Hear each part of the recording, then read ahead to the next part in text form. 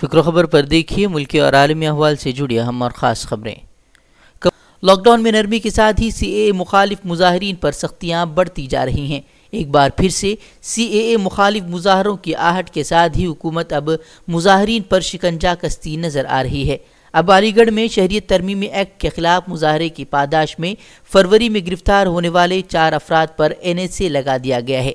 माहरीन का मानना है कि जमानत पर मुलजमीन के रिहा होने के इम्कान को रोकने के लिए रियासती हुकूमत की हमत अमली का ये नतीजा है, क्योंकि एन एस ए के तहत किसी को भी एक साल तक कोई इल्ज़ाम आयद के बगैर कैद रखा जा सकता है।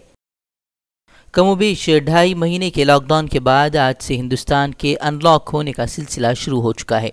लॉकडाउन के खात्मे के पहले मरहले के तौर पर मरकजी हुकूमत ने रियासतों को शॉपिंग मॉल रेस्टोरेंट इबादत गाहें और निजी दफातर खोलने की इजाज़त दी है। वहीं दो माह के तवील वक्फे के बाद लोगों ने हुकूमती गाइडलाइन पर अमल करते हुए कसीर तादाद में मसाजिद में नमाज़ बाजमात अदा की है।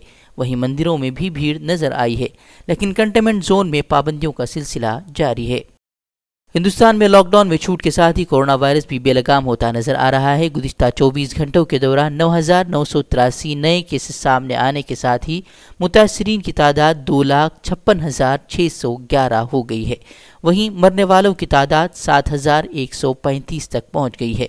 बढ़ते मामलों के दौरान ये सवाल अहम हो जाता है कि हुकूमत ने लॉकडाउन कोरोना रोकने के मंसूबे के तहत किया था या फिर ये बढ़ते केसेस हुकूमत की गैर मनसूबाबंद लॉकडाउन का नतीजा है।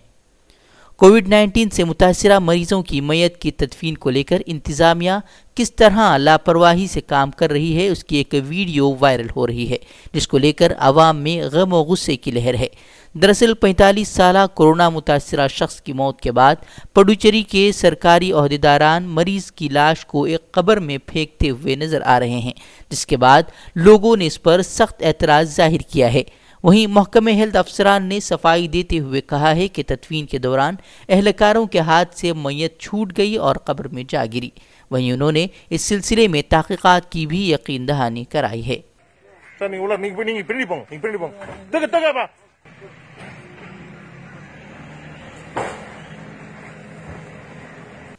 मध्य प्रदेश में इंसानियत सोज वाक़ पेश आया है। यहाँ इलाज की फ़ीस अदा न कर पाने वाले एक 80 साल बुज़ुर्ग को अस्पताल इंतज़ामिया ने बेड पर रस्सियों से बाँध कर रख दिया।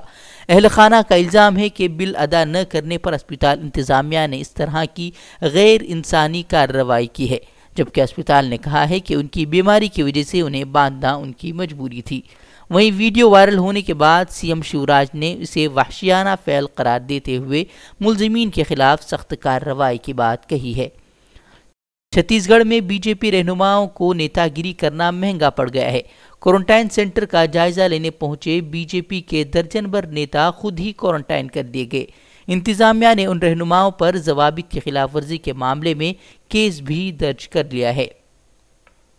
जनूबी कश्मीर के शोपिया के पंजूरा नामी इलाके में पीर की सुबह होने वाले एक मुसल्ला तसादम में चार मिलिटेंट मारे गए हैं। वहीं फायरिंग के तबादले में सिक्योरिटी फोर्सेस के तीन एहलकार भी जख्मी हुए हैं। दिल्ली में कोरोना के बढ़ते मामलों को देखते हुए केजरीवाल हुकूमत ने मरकजी हुकूमत के मातहत अस्पतालों को छोड़कर बकिया में सिर्फ़ दिल्ली के बाशिंदों का इलाज कराने का ऐलान किया है। दिल्ली के बाशिंदों को अपनी शनाख्त ज़ाहिर करने के लिए सात शनाख्ती कार्डों में से किसी एक को दिखाना होगा और तभी वो दिल्ली हुकूमत के अस्पतालों या प्राइवेट अस्पतालों में अपना इलाज करा सकेंगे। वहीं आर जे डी रहनुमा तेजस्वी यादव ने बिहार के वजी अला नीतीश कुमार पर तंज कसते हुए उन्हें हेडलाइन मैनेजमेंट के बजाय कोरोना रोकने के लिए सही इकदाम करने पर ज़ोर देने की अपील की है। बीजेपी ने बिहार में असम्बली इंतबात का भी गुल बजा दिया है और गुजशत रोज़ अमित शाह की वर्चुअल रैली मुनद हुई। वज़ीर दाखिला अमित शाह ने इतवार को बिहार के आवाम से वर्चुअल रैली के ज़रिए खिताब किया और दावा किया कि असम्बली इलेक्शन में नीतीश की क्यादत में एन डी ए को दो तिहाई अक्सरियत हासिल होगी। वहीं रैली को लेकर अब बीजेपी अपोजिशन के निशाने पर है। कांग्रेस ने रैली पर तंज कसते हुए कहा है कि तारिकी वतन मजदूर मसाइब से कराह रहे हैं और बीजेपी वर्चुअल रैली मुनद कर बिहार के लोगों के साथ नाइंसाफ़ी कर रही है। कांग्रेस ने इल्ज़ाम लगाया है कि महाजिर मजदूरों की घर वापसी का इंतज़ाम न कर पाने वाली बीजेपी ने अमित शाह की रैली के लिए एक लाख फ़ोन तकसीम किए हैं। दिल्ली के सबक रुकन पार्लिमान शाहिद सिद्दीकी की भतीजी की वेंटिलेटर न मिलने से मौत वाक़ हो गई है। उन्होंने अपने ट्वीट में अस्पताल पर लापरवाही का इल्ज़ाम आयद करते हुए कहा है कि भतीजी की हालत ख़राब होने के बावजूद उन्हें आईसीयू केयर दिया गया और न ही वेंटिलेटर। उन्होंने अस्पताल की काबिल रहम हालत को सामने लाने की कोशिश करते हुए कहा है कि कई लोग वेंटिलेटर की कमी की वजह से लुक में अजल हो रहे हैं। जम्मू कश्मीर में तैनात सीआरपीएफ एहलकार और एक शहरी की कोविड 19 में मुस्बत पाए जाने के बाद मौत वाक़ हो गई है। ये पहला ऐसा मामला है जब मोहलिक कोरोना वायरस से सिक्योरिटी फोर्सेस के एहलकार की मौत हुई हो। काबिल ज़िक्र है कि जम्मू कश्मीर में कोविड 19 से तैंतालीस आम शहरियों की मौत हो चुकी है, जिनमें सैंतीस का ताल्लुक कश्मीर से है, जबकि दो गैर मकामी और चार अफराद का ताल्लुक जम्मू खत्े से है।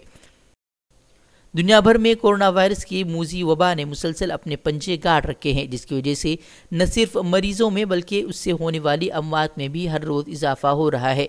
दुनिया भर में कोरोना वायरस से मुतासर अफराद की तादाद उनहत्तर लाख छिहत्तर हज़ार पैंतालीस हो चुकी है, जबकि उससे हलाकतें चार लाख दो हज़ार एक सौ सत्तर हो गई हैं। वहीं अमेरिका ताहाल कोरोना वायरस से सबसे ज़्यादा मुतासर मुल्क है, जहाँ न सिर्फ़ कोरोना मरीज़ बल्कि उससे हलाकतें भी अभी तक दुनिया के तमाम ममालिक से में सबसे ज़्यादा हैं।